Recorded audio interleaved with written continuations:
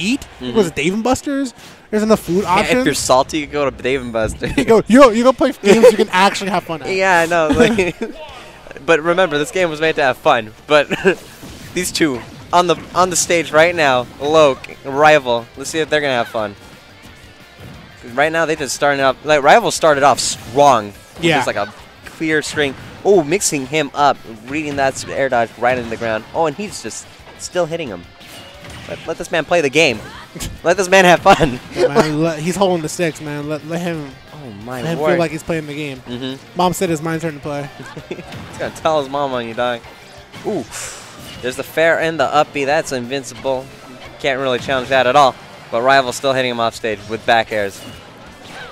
Oh, the whole jazz. There's a flip kick. Mm -hmm. The one thing for rival too is like even when he goes off stage, you have to really be aware that he'll come back with flip kick mm -hmm. and try to space yourself and anticipate that. Like, see what I'm saying? He goes off the stage, comes out with a flip kick, gets you with the one-two finish your stock, and you, are done. And for for Loke, his opportunity, he should be looking at it like, hold on, if he's going off stage like this, the way he comes back, I gotta pay attention.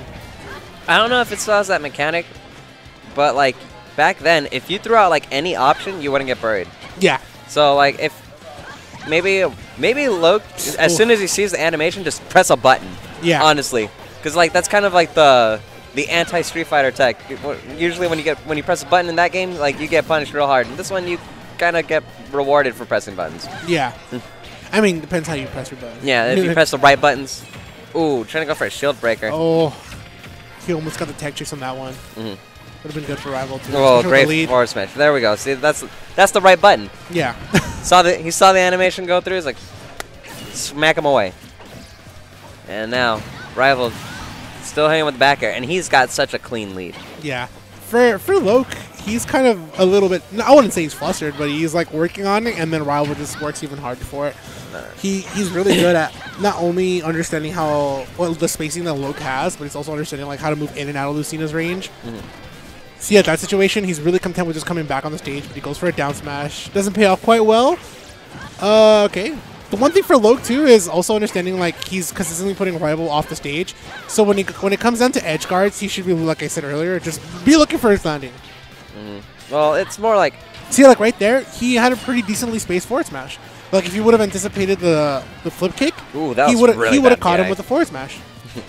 yeah, but like I kind of feel like he kind of got rocked at the beginning, right? Yeah. It was just it's like oh no, it's a it's a little late, and like he kind of found his footing, and now it's looking a little cleaner. But now it, it, it might be a little too late. like he, kind of got he, he nearly got zero to death. Yeah. So like he's playing from a whole stock behind. I mean, now the stocks are even, but the, the percents are different. So for Loke, it's how much neutral victory am I getting here? Mm -hmm. And it starts off with an up tilt. Pretty good opportunity here for going to tech chase immediately, waiting for the invincibility to run out and then follow up with that. Oh, oh. that bair. that was unfortunate for Loke. Because that, that up tilt looked like it should have hit him. yeah, it really did, and it's a really good opportunity for him to go for the anti-air, specifically because the SS is going to be coming in with an aerial. Mm -hmm. The way that Rival's been playing, he's going to be coming in with a lot of aerials. So I respect the anti-air, but I would have respected the spacing. Mm -hmm. I would have respected, like, hey, hold up. If he's going to come in with flip kick or with a with just an empty hop, he might be getting me with something back on the stage. And even if I'm going for an anti-air, the way that, that poked through with the spacing that Rival had, mm -hmm. yeah, you can see how that went. That bair was just that bair was. It's still so perfect. good. That yeah. bair was just perfect for him. Yeah. bair for ZSS is still good in this game. Like, I, I do like that um, they kind of went for a mix of her toolkit between Brawl and Smash 4. Like, it's not 100%, you know, Smash 4 uh, ZSS or Brawl ZSS, but it's a bit of a mix of both. Oh my god, why are we on the stage? Ah, uh, Yoshi's. I actually like this stage. Yo, man, I don't. Man, this, this, is the new Lylat. Mm-hmm. This is the new Lylat. I mean, like the auto ban. Yeah. This is this is worse Battlefield. This is literally what it is. No, I'm sorry. This is worse Smashville. I don't know. Some characters could utilize that little slant like beautifully. Yeah, but in, in that case, if we're talking slants, um, you know, man, just give me Yoshi's Island, Yoshi, Yoshi Story. Actually, I felt like the other one was originally called Yoshi Story 64, mm but they just changed it to Super Happy Tree in this game. Mm -hmm. I, I kind of feel like it, if this stage was had hazards on, it it would serve more of a purpose. Yeah, right. The the ghosts that come out Mm -hmm. The coasts that come out, the the tilt on that middle platform. It, it would benefit. It would be. Uh, I feel like the stage would be viewed a lot differently. It is really good though for both characters because they also kill exceptionally early in the stage, well, uh, for- especially for Lucina, right? You, you are playing neutral pretty well. You are getting your neutral air. You are getting your side B, your anti airs, and eventually when you have your opponent at a, high, at a certain percent off the ledge, usually typically around 60 to 70, you get that F smash at the right spot, right on your opponent's landing, on your opponent's recovery, especially against rival like that. You're getting a pretty significant stock at a pretty solid percent. Yeah, but the problem is he did. He's still behind yet again at the beginning. Yeah. And like, oh man, that up out of shield is gonna punish him really hard. he's playing catch up when he should be playing to understand. Like Mhm. for him, it's he needs to look at his rival and understand what are his options, his approaches. he needs to look at his rival. Yeah, Uh, coincidentally, right? Like, I'm pretty sure rival like. He's like gonna review this VOD. He's like, I was waiting for that day. Just waiting for that moment.